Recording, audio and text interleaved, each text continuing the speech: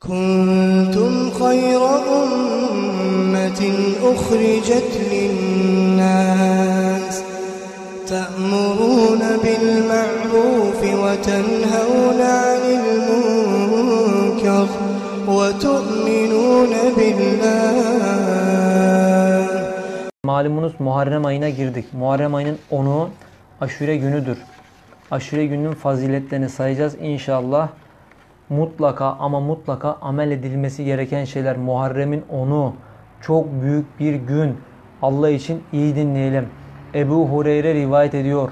Önümüzdeki pazarı pazartesiye bağlayan gece. Bakın önümüzdeki pazarı pazartesiye bağlayan gece. Yani Muharrem'in 10'u. Şimdi Ramazan ayından sonra en faziletli oruç Muharrem ayı orucudur. Mutlaka ama mutlaka oruçlu olmamız lazım. Muharrem'in ilk 10 günü oruç tutana Firdevs cenneti Firdevs cennetine o kişi varis olur. Firdevs cenneti cennetin en üst tabakasıdır. Muharrem ayının ilk 10 günü oruç tutana diyor Firdevs cenneti ona varis olur. İbn Abbas bir hadis-i şerifte rivayet ediyor. Bugünlerde oruç tutana bakın oruç tutana yani ayın 9'unda hemen bu ayın 9'unda Muharrem'in 9'u onu yani pazar ve pazartesi. Pazar ve pazartesi ya da pazartesi ya da salı. Bak ya pazar pazartesi ya da pazartesi salı oruç tutana alacağı fazilet sayıyoruz. Şimdi 10 bin melek sevabı, 10 bin hac sevabı, 10 bin umre sevabı, 10 bin şehit sevabı veriliyor. 2 gün oruç tutacaksın, 2 gün aç kalacaksın. Bir pazarını feda edeceksin Allah için ya. Pazartesi zaten işle güçle zaman geçer. Sen şimdi diyeceksin ki bir pazarımız var onu da elimizden alma. Bir pazar kahvaltımız var, bir keyfimiz var onu da elimizden alma. Ama senede 52 tane pazar var. Allah için bir pazarımızı feda etmemiz lazım. Bir pazar. Pazar günü oruç tutacaksın, pazartesi oruç tutacaksın. Bu kadar. Ondan sonra zaten Ramazan ayına kadar ne halim varsa gör kardeşim. Şimdi Efendimiz Aleyhisselatü Vesselam Medine'ye geldiği zaman baktı ki Yahudiler oruç tutuyor. Soru dedi siz neyin orucunu tutuyorsunuz? Dediler bugün Musa'nın Firavundan kurtuluş günüdür. Biz de onu kutlamak için oruç tutuyoruz. Yani o da aşure gününe denk geliyor. Muharrem'in onunla denk geldiği için. Efendimiz Aleyhisselatü Vesselam dedi ki Musa benim kardeşimdir ve Musa bizim dinimiz üzeredir. Onun dedi asıl kutlaması gereken, gereken biziz ve o orucu bizim tutmamız lazım dedi. Ama Yahudiler tek gün tuttuğu için Efendimiz Aleyhisselatü Vesselam onlara muhalefet olsun diye 9'u ve 10'u oruç tutmayı emretti. Ya da 10'u ve 11'i. Tek gün tutulmaz. Ya 9'u 10'u ya da 10'u 11'i. Şimdi o günlerde sahabiler çocuklarına bile oruç tutturuyorlarmış. Hanım sahabiler der ki biz çocuklarımıza akşama kadar eline oyuncak bir şeyler verirdik ki zaman geçsin ki oruçlu oldukları akıllı, yani açlıkları akıllarına gelmesin. Oyunla akşam etsinler. Sırf oruç tutsunlar diye. Bu Buhari hadiste geçer. Hatta o gün bütün peygamberlerin oruç tuttuğu söyleniyor. Hatta büyükler der ki, büyük Allah dostları, bizler sürekli karıncalara ekmek ofalarız. Ekmek ofalarız ki kırıntıları yesinler.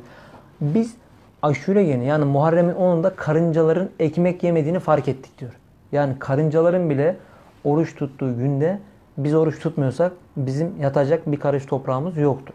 Şimdi Allah Celle Celaluhu aşure günü oruç tutana İsmail Aleyhisselam'ın zürriyetinden bin tane köleyi azat etmiş sevabı veriyor. İsmail Aleyhisselam'ın zürriyetinden kim geliyor? Efendimiz Aleyhisselatü Vesselam. Çok büyük bir mükafat. Bir kişi aşure günü oruç tutarsa cennette o kişiye 70 bin köşk veriliyor. O kişi diyor canını cehennemden satın alır. Aşure günü yani Muharrem'in 10'unda bir kimse eliyle bir yetimin başını okşasa elinin değdiği saç adedince o kişinin diyor cennette derecesi yükselir. Ondan sonra bir kişi aşure günü Muharrem'in 10'unda bir kişiye iftar açtırsa bir kişi o der sanki bütün ümmeti Muhammed'e oruç açtırmış gibi sevaba giriyor. Hepsine yemek yedirmiş gibi sevaba giriyor. Sahabiler bu faziletleri duyunca dediler ki ya Resulallah bu nasıl bir gündür? Nasıl bir gündür bu? Bu nasıl fazilet? Efendimiz Aleyhisselatü Vesselam Muharrem'in 10'unda aşure gününde olan olayları saymaya başladı. Allah Celle Celaluhu yerleri gökleri aşure günü yarattı. Dağları aşure günü yarattı. Yıldızları aşure günü yarattı. Lehv-i mahfuzu aşure günü yarattı. Kalemi aşure günü yarattı. Hazreti Adem'i aşure günü yarattı. Hazreti Adem ile Hazreti Havva'yı aşure günü cennete soktu. Hazreti İbrahim aşure günü doğdu. Nemrut'un ateşinden aşure günü kurtuldu. Firavun aşure günü Kızıldeniz'de boğuldu. İdris aleyhisselam aşure günü cennete yükseldi. Eyüp aleyhisselam hastalığından aşure günü kurtuldu. Hazreti Adem'in tövbesi aşure günü kabul edildi. Hazreti Davut'un zellesi o gün affedildi. Süleyman aleyhisselamın mülkünü Allah Celle Celaluhu aşure günü iade etti. İsa aleyhisselam aşure günü doğdu. Aşure günü ikinci kat semaya yükseltildi. İsa aleyhisselam hala ikinci kattadır. Hayattadır. Kıyamet günü aşure günü kopacak. Cuma günü kopacak. Cuma günü ve aşure günü kopacak. Cebrail aleyhisselam cuma günü yaratıldı. Arş ve kürsü cuma günü yaratıldı. Cennetten gökten inen ilk yağmur aşure günü yağdı. İlk rahmet aşure günü nazil oldu. Ashab-ı keyif aşure günü sağdan sola soldan sağa döndürülüyordu. Ashab-ı Kehf bir mağarada 309 sene Allah tarafından uyutuldu ve onların bedenleri çürümesini Allah Celle Celle onları bir sağa çeviriyordu, bir sola çeviriyordu. Onların sağa sola dönme günü de aşure günüdür. Yani bu kadar olay olmuş, bu kadar faziletli bir gün kaçırmamak lazım. Şimdi o gece yapılması gereken bazı ibadetler var. Onları sayacağız. Kim ki aşure günü yani pazar günü bu pazar kendi normal miladi takvimden bahsediyoruz. Bu pazar günü akşam namazını, yatsı namazını, bir de sabah namazını camide cemaatle kılarsa ve sabahleyin oruca niyet ederse o kişi diyor öldüğü zaman nasıl öldüğünü anlamadan ahirete gider. Ölüm çok acı bir şey. İnsan öldüğü zaman öyle bir acı çeker ki sanki 500 tane kılıç aynı anda onun vücuduna saplanmış gibidir. Ölüm öyle acı bir şey. Ama kim o gün akşam namazına, yatsı namazına bir de sabah namazına camiye cemaate giderse ve sabah oruça niyet ederse ölümü hissetmez. Ondan sonra kim aşure gecesini iba, ihya ederse, bakın ibadetle geçirirse aşure gecesini 7 kat göklerin meleklerin ruhaniyeti ile ibadet etmiş gibi sevap alır. O gece kılınması gereken iki, iki namaz var. Ayrı ayrı iki namaz. İkisini de tarif edelim. Yani isteyen ikisini yapsın. Kendine güvenen, erkekliğine güvenen ben, ben dayanıklıyım, ben dayanırım, benim belim ağrımaz. Ben sağlam Müslüman diyen varsa iki namaz da kılsın. Ha, yapamam diyen varsa tekini kılsın. Bir namaz dört rekattır. Dört rekatlık bir namaz. Bir Fatiha, her Fatiha'dan sonra 50 tane İhlas suresi. Bakın ilk rekatta bir Fatiha okuduk. 50 tane İhlas suresi. Sonra rükû secde. Sonra ikiye kalkıyoruz. Bir Fatiha 50 İhlas. Yani toplamda 200 tane İhlas suresi okuyoruz. Birinci namaz bu. Kim ki diyor bu namazı kılarsa 50 senelik geçmiş, 50 senelik gelecek günahları affolur. Meleklerin yanından nurdan yapılmış 1 milyon minber verilir. Mahşer günü, kıyamet günü insanların mahşer meydanında perişan olduğu bir günde sen orada nurdan minberlerde arşu alada keyif içerisinde olacaksın. Şimdi ikinci namaz. Bu namaz nasıl bir namaz? Bu 100 rekatlık bir namaz. Ama bunda nasıl? İlk mesela Fatiha'nın peşine 3 ihlas. Az önce ne dedik? Fatiha'nın peşine 50 ihlas, 4 rekat. Bunda nasıl? 100 rekat. 100 rekat. Her Fatiha'dan sonra 3 ihlas. Bunda 300 tane ihlası var. Az öncekinde 200. Yani kendine güveniyorsan ben yaparım, ben kılarım, ben Allah'a kulluk için bu dünyaya geldim diyorsan ikisini de kıl. Ha, yapabiliyorsan bir tanesini yap. En azından bir tanesini. Hiç mi yapamıyorsun? Yatsı namazını kıldıktan sonra iki rekat gece namazına niyet et. İki rekat yatsı namazını kıldıktan sonra iki rekat namaz kıl. Gece namazına niyet et. Teheccüd yerine geçer.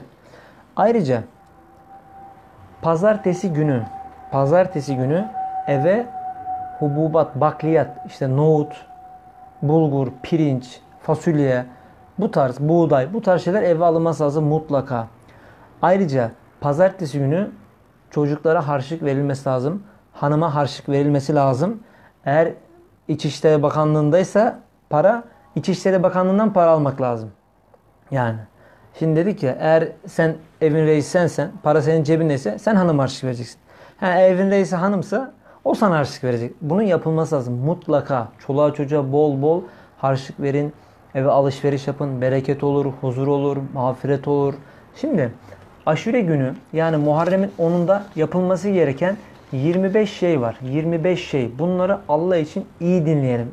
25 şey. Çok basit şeyler. Hepimizin yapabileceği şeyler. Şimdi sayıyoruz sırayla. 1. Çokça tövbe istiğfarda bulunmak. 2. Farz namazları dışında nafile namaz kılmak. 3. Oruç tutmak. 4. Sıla-i rahim yani akrabayı arayıp sormak. 5. Sadaka vermek. 6. Gusül abdesti almak. 7. Sürme çekmek. 8. Bir alimi ziyaret etmek. 9. Bir hastayı ziyaret etmek. 10. Yetim başı sıvazlamak. 11. Çoluk çocuğa bolluk yapmak. Yani harçlık vermek, şeker al, çikolata al. 12. Bir kişiye su içirmek. İftarlıya bir kişiye bir bardak su içirsen çok fazilet. Bir bardak suyla bile olsa. 13. Tırnak kesmek. 14. Bir mümini iftar ettirmek. 15. Bin kere İhlas suresi okumak.